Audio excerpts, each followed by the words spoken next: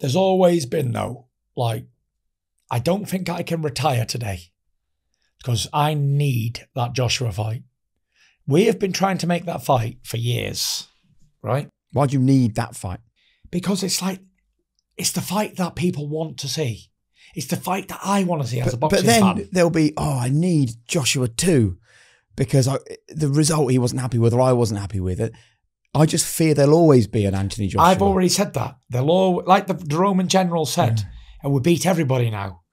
He said, "Yep, there'll always be somebody else." In the mm. beginning of the Gladiator movie, Yeah. remember it? Yeah. Yeah. Where he goes, "We've conquered the world," and he goes, "There'll always be somebody else to fight. There'll always be another war."